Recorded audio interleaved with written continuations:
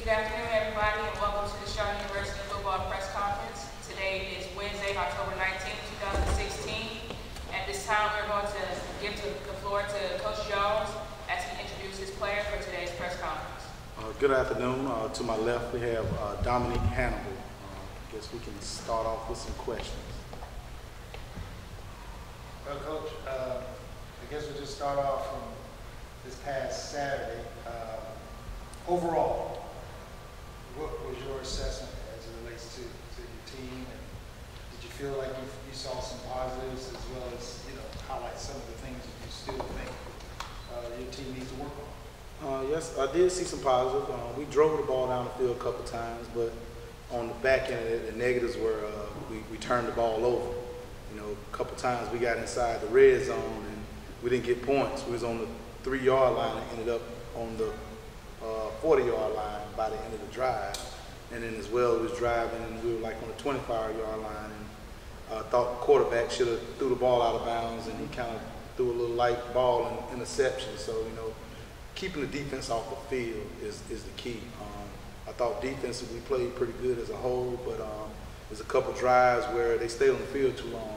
You know, penalties kind of hurt us defensively. We get a stop and then, you know, we jump off sides or roughing a pass or things like that, that we got to be a little bit more disciplined. Um, we talk about it each and every week, and when we get that cleared up, uh, we'll, we'll get some wins. But the turnovers have got to stop. We, we got to tune in and figure out a way to not turn the ball over. In, in regards to the quarterback play, uh, obviously the, the two plays that you had, um, we saw clearly the, the one play um, where it was intercepted on uh, your sideline, again there was another one uh, later. I want to say in the second half where uh, ball was thrown into coverage and Livingstone's linebacker was right there just to pop right in his shoulder pads.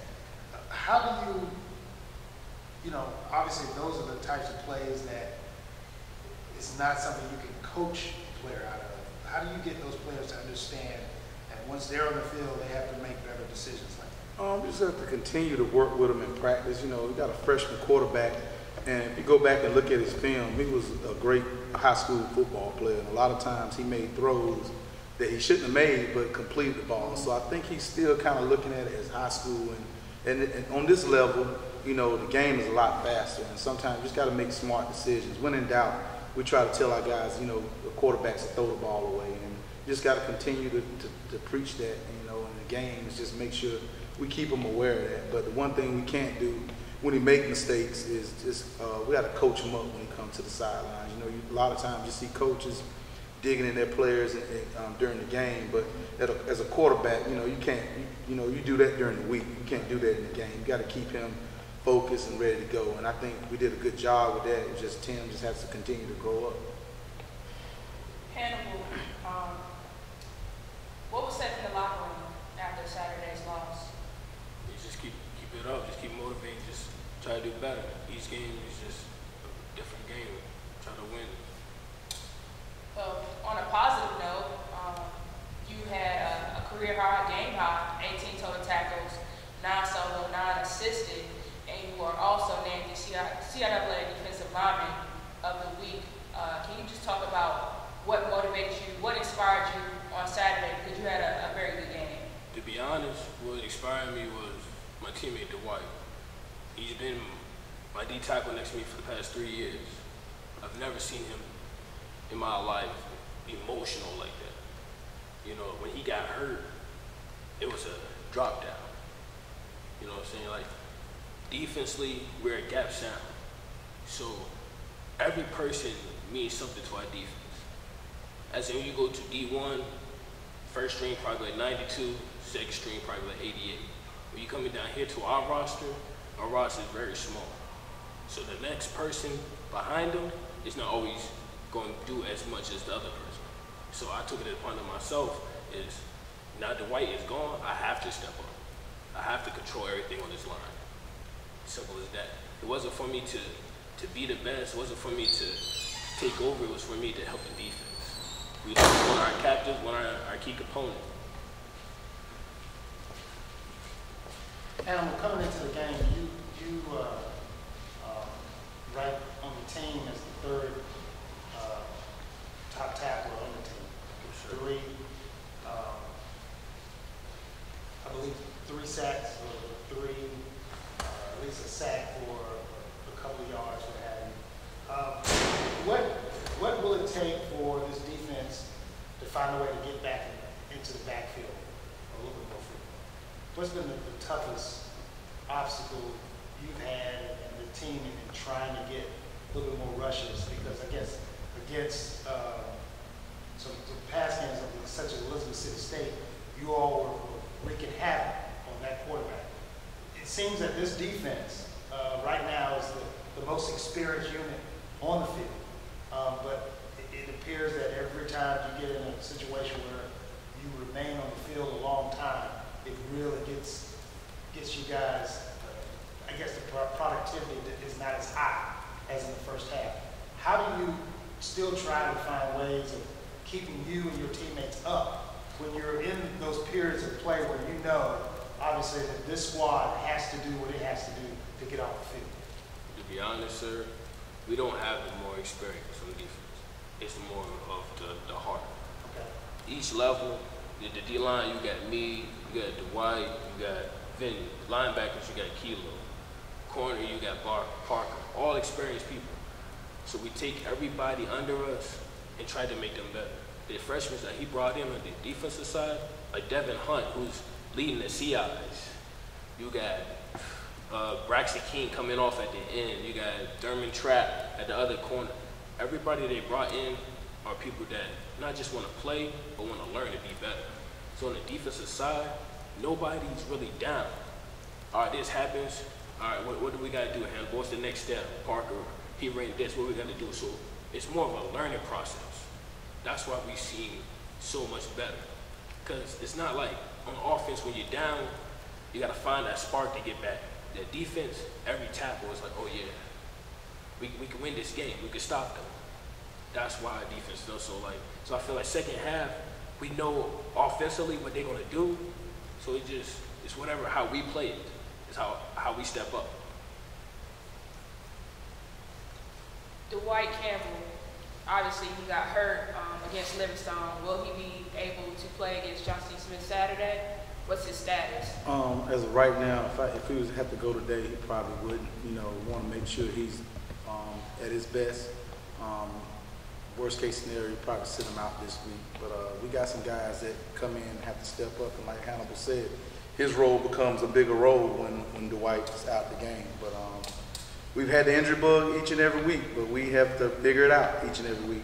You know, can't worry about those things. Those guys that get hurt become coaches now and, and try to help out the guy that's um, that was behind him. So we can't complain about it. We just got to continue to grind.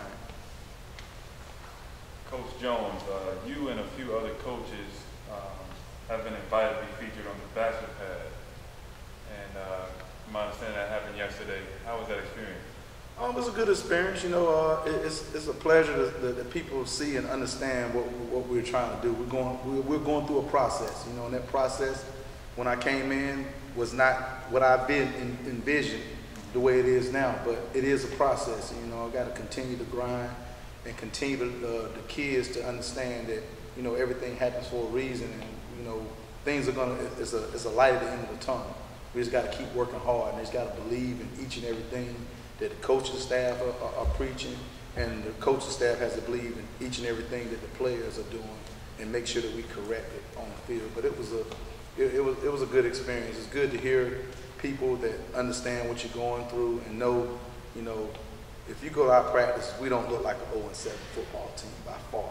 But you know, um, you know, the, the losses have collected. But um, one thing we're going to do is, uh, like I tell Hannibal and all the rest of the players, something good happens, we're going to keep playing, and something bad happens, we're going to keep playing. And I think we've done that. We just need to uh, eliminate a lot more of the bad. Coach, it seems like Achilles heel for us seems to be PAT field goal. So one of the maybe three or four games we've had at least a PAT or a field goal block. Anything we can do to correct that? Uh, we got to find some people that you know that's gonna take that serious. I take special teams very serious, you know, and a lot of times, looking from the outside in, you know, a lot of people want to put it on Benny. Benny's a heck of a, a, kicker. It's, it's you know, it's totally not him, but in the stats, it shows that he's missing field goals. But we got to do a better job up front of blocking, you know, and and it makes me nervous a lot of times getting in the red zone where we can leave with some points and we go for it on fourth down because we're not sure. You know, it's a 50-50 chance that we might make the field goal. So we've been working a, lot harder. That that um, part of the special teams has been live every day, and we're gonna continue to be live every day until we get that get that corrected. Looking ahead, um, what, what has your attention about JCSU, um, coming into Saturday's game? Uh, they have the best free safety in black college football. He, that guy can absolutely play football. I was a defensive back, and I'm aware of that. You know, we're not gonna go, we're not gonna go away from him, but we're not gonna try to just throw the ball at him all day because he's he's a great football player. Um, they have some good veteran um, defensive players. They lost their starting quarterback, but the backup quarterback is is, is doing pretty good as well.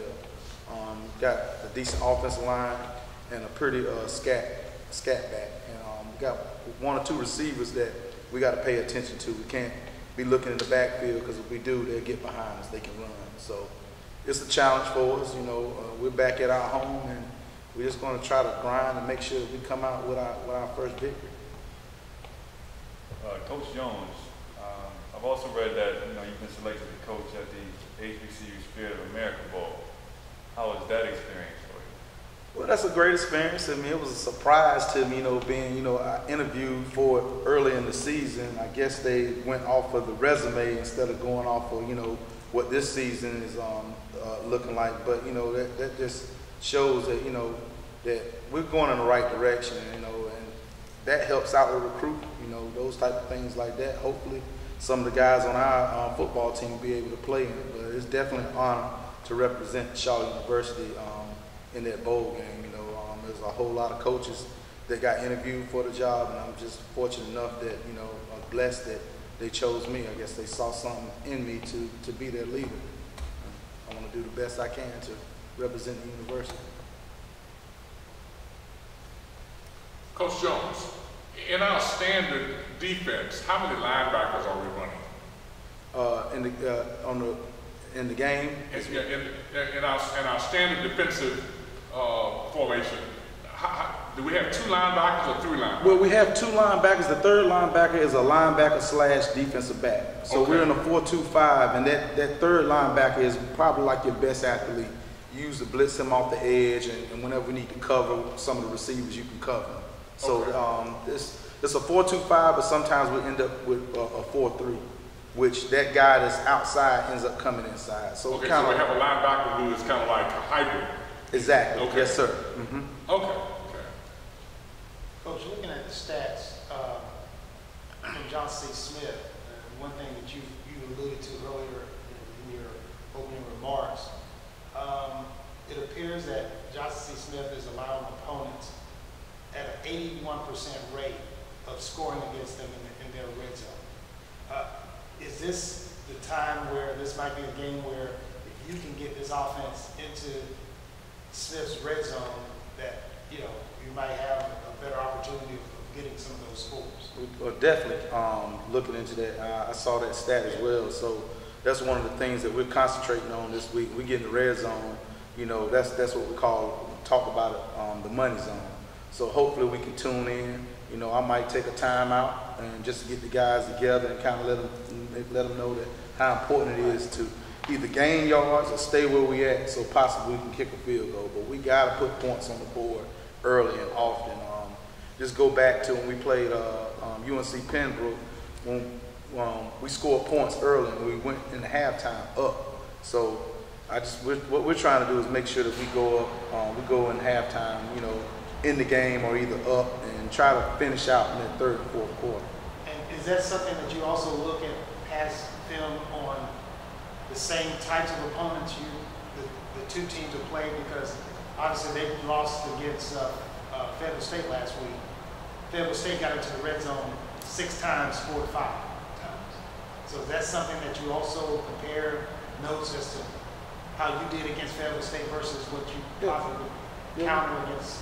We definitely do. You do look into that, you know. But at the end of the day, our guys, you um, when you look at that, you got to also let them know that you know we're we're we're 0 and 7. They're one and I think six, and you know they're trying to get a win. So everybody is trying to make sure they play their best game against us and want to get a win. So we can't look at um, them Fayetteville State putting up 30 points on them, and you know it was, it was, it was a blowout. We got to make sure that we come in and, and understand that each and every team that we face are going to come in and play their best game. Livingstone came in and played their by far the best game they played all year, and we just got to understand that we can't go out there and people just going to fall down to us. We got to play a perfect game and not um, turn the ball over. Hannibal, how confident are you heading into Saturday's game? Very confident. You can actually tell the difference from camp to now. A lot of people is more motivated, and more in tune. So I feel like this game is going to be a, a rude awakening. A lot of people don't understand this. we don't have a lot of seniors, we don't have a lot of juniors, we have a lot of freshmen. You feel me? So confidently, I feel great. I really do. Because it's a different type of freshman than we, we, we used to. We used to freshmen that's coming in that just want to be part of the team. As these freshmen here, they all fighting to start. They all fight to, to be a part of this, regardless of their record, regardless of where they come from or who's in front of them. So me being a senior, I love that.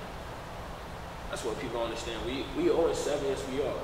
But a lot of people don't understand a regular football roster in Division two probably 70 deep, maybe 75. We have 33, 34 freshmen. If we wanted to win the championship this year, we would have went and recruited all JUCO players, D1 that was hurt, but we wanted to build a dynasty. So the freshmen that we got here, I'm, I'm truly behind. I really feel confidence in this. Campbell, what, what keeps you, and I'm hearing you, it's, your, your voice never wavers, your confidence seems to stay on the same level.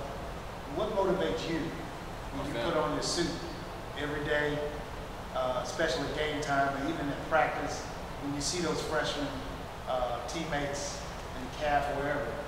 What motivates you and, and the rest of your teammates that are seniors? just love for the game. It's not, it's not the money. It's not not trying to go to the league. It's not anything. It's if you love this game, you're gonna do everything you want to do for it, regardless. I'm from I'm from a small area. I'm from Chesapeake, Virginia. It's a small area. You either in games or you play sports.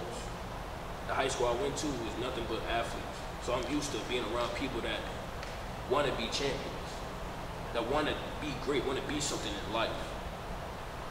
You know what I'm saying? The difference between this la this this season and last season, last season we went one and nine, this season we won seven. The difference between last season is it wasn't coach people wasn't stepping up. I love Coach Max, but people wasn't stepping up. This season, everybody is behind Coach Jones. If he wanted to win the championship, like I said, he would have went and got JUCO players. He would have went and got the people that was going to Central that wasn't able to go D1, that can go D2. He could have did all that. But the thing was, he wanted to build a dynasty. He wanted to build it where in three, four years, this is really my squad. This is really my team. I made this. I made everything happen. He brought freshmen. People look at us on the sideline. We're a small team. Oh, they, they out of it. They out of it. Because we got nothing but freshmen that came from winning programs. They don't know what losing is. So that's where it comes into being seniority, being upperclassmen to show them, like, listen, this is not high school.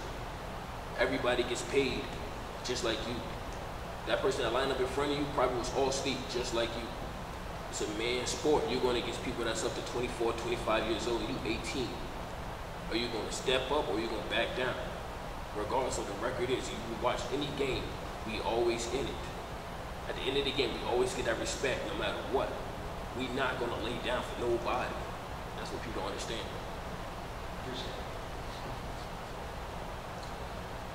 Any more questions?